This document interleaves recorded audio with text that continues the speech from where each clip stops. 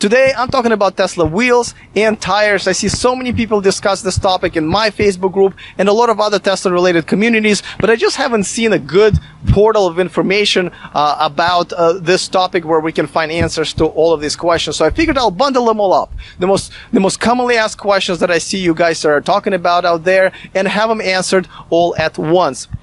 And what the best place to do it at than one of the world's largest independent wheel and tire companies, the Discount Tire Company, or as we know them here in California, the America's Tire Company. So I'm here at their Millbrae location because that's where they service one of the largest numbers of Teslas. So they really, really know what they're talking about. So I'm very confident we're going to get all of the answers that we're looking for. But before that, if you haven't subscribed to my channel, well, you're kind of hurting my feelings a little, but also you're missing out on a lot of good information about Tesla cars and electric cars in general. So go ahead and click on that subscribe button down there. And if you have already, also go ahead and click on the bell notification icon right next to it so you don't miss anything moving forward.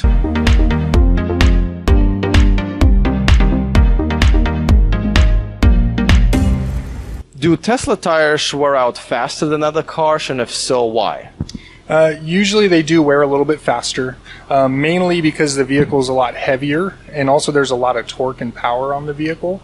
So it does put a little bit more strain on the tires and does cause them to wear out a little bit faster than most vehicles. A lot of owners, including myself, noticed that with the, you know, uh, one motor Tesla versus the dual motor, uh, the back tires wear out much faster. Is that because there's only one motor and it's on the back and it, all the torque that goes into the back tires?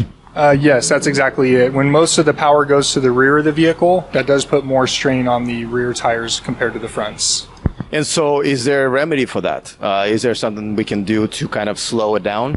Uh, the main thing you can do is uh, maintain the tires properly. So regular tire rotations, uh, maintaining the proper air pressure in the tires, and uh, you know the harder you drive on the vehicle, the the more stress the tires are going to go into. So if you're easier on the gas and the brake, it'll help the tires last a little. Accelerator. Exactly. the gas. yeah. But I don't think we can take it easy because it's just fun. Yes. but okay, point taken. Yes. Um, and so, can you rotate tires on all of the Tesla Model S and X models, or there's some that you can only rotate them left to right? Yeah, there are some Model X's and Model S's that have different size tires on the front and the rear. Uh, with those type, you cannot do a rotation front to back.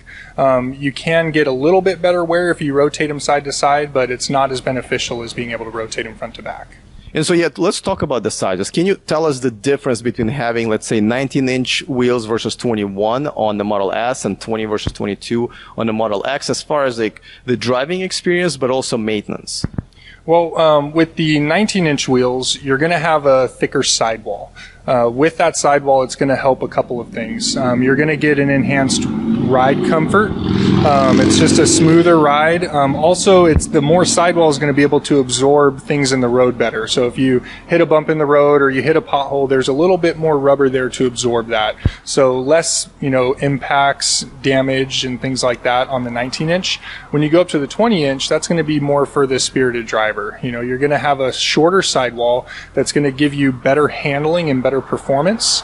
Um, the downside to those is they're going to wear out a little bit faster. Um, and then also, if you hit a pothole or you hit a bump in the road, there's not as much rubber there to absorb that. So, you know, bubbles on the sidewall and impact damage and things like that are going to be more common. And I think you meant 21 inch, right? So 21 for the Model S, 22 for the Model X as far as thinner rubber. Okay. And as far as maintaining it, is it more expensive to maintain it? And so why and how, and do you have to change them more often? Uh, with the 21 inch and the 22 inch, um, you are going to have to replace them more often. Um, as far as the maintenance goes, it's the it's the same. You know, um, if you bring any of the vehicles down to one of our stores at America's Tire, uh, we do the tire rotations at no charge, uh, whether you purchase the tires from us or not, um, and that will help you know get a little bit more life out of the tires.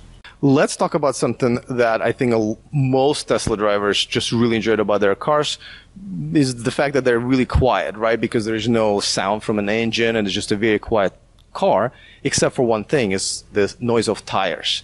Um, can you talk about if there are certain type of tires that are a little bit more noisy and some that are specifically made to be very, very quiet? Um, yes, a lot of the tires that Tesla uses originally on their vehicles are designed to be a lot quieter. Um, now, one of the things with that is there tend to be a little bit softer rubber compound. You know, some people do change outside of the original equipment tires, but you know there are some ups and downs to that. Um, you know, sometimes the tires could be a little bit noisier. Um, so, you know, I, I do recommend staying with a premium quality tire, so that way you still get the benefits of having a nice quiet ride. And lately, especially this year, Tesla's been putting foam type of tires with a foam lining on the inside on the performance cars. Can you talk about what they are and, and what makes them the quietest tires out of all of them? So basically, what the foam is designed to do inside of the tire is it absorbs any of the noise that is coming from the road. So instead of that noise being transferred into the cabin of the vehicle, it's absorbed by the foam, which helps maintain a little bit quieter ride compared to the tires that do not have foam what are the most common problems that you've seen Tesla owners come, you know, come in with, and is is there something that we can do to avoid them? Um, there's two things that are pretty common that we see. Um, we see lots of road hazards. Um, you know, there's the, because of the way the tires are designed with the heavy vehicle and especially with the conditions of the roads, um, you know, we, we do see a lot of road hazards. So people coming in with flat tires, you know, things of that nature. Um, you know, a lot of the, the flat tires we're able to repair, uh, which at any America's Tire, we do the flat tire repairs at no charge. Um, but another common thing is the way that the tires wear. Um, you know, if, if you have a performance package with a 21 inch wheel, a lot of times we see them wearing a little bit more on the inside edge of the tire, which is just the way that the vehicle is set up. Um, you know, there's not really anything you can do to avoid that, um, but in order to get the maximum life out of the tires, just maintaining them properly, rotations, proper air pressure, things like that. And when we come in for an appointment, does it usually take longer to change tires on uh, Tesla cars, or it's pretty much the same? Um, it's pretty much the same. I mean, the, the wheels and tires are a little bit harder to do compared to, let's say, your standard Honda Civic. Um, but if you call it America's Tire and schedule an appointment, usually we can get the service completed in about 45 minutes to an hour.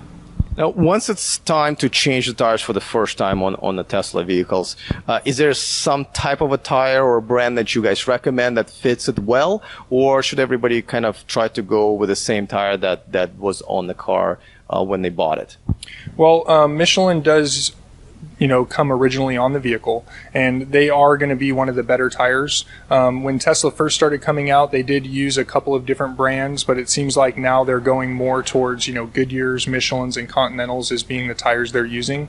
Uh, we try to carry as many of those options in stock, and those are the tires that we typically recommend for that vehicle. Okay. Now let's talk about something that you know. Uh, again, Tesla owners love about their cars because it's not just a car; it's sort of almost like a, it's a smart car, right? We enjoy a lot of things that the car can do for us, or think for us, and drive for us, and stuff like that. But um, I've heard that now there are technologies that are created for tires to be pretty much smart tires where they collect data uh, for the customer, for the brand to make the tires better, but also to maybe notify the customer and the driver that it's time to change the tire or there's something wrong with the tire and it's all done through the cloud services. Can you talk about this technology that we that we're hoping is going to be here soon and when do you think it's going to be out? Well, it's hard to say exactly when it's going to be out, but there's a few different manufacturers right now that are working on this new technology where they actually put a small microchip inside of the tires. And what this microchip does is it just transmits data to the vehicle where the driver could see the condition of their tires. And sometimes they're even going as far as, you know, based on the condition of the tire, helping the vehicle, you know, kind of set itself up to get the best performance out of the tires. So, you know, we haven't really seen a lot of that yet released on the market, but it's definitely in the works, and it's pretty exciting to see that coming on. I can't wait. Uh, um, so maybe in the next couple of years, I would assume. Uh, possibly. I know it's been in the works for a long time, um, you know, and, and I can't wait to see the first one roll into the shop. Well, I hope you guys found this information useful. I certainly have, but if we missed something, if you still have some questions, uh, go ahead and put them in the comment section. I will try to get them answered, or maybe we'll just do another segment. We'll, we'll, we'll just have another batch of questions for these guys. I'm sure they'll be happy to help us out again. Well, that's it for me here in Millbrae, California, the America's Tire Company. I will see you guys next time, and remember to stay charged.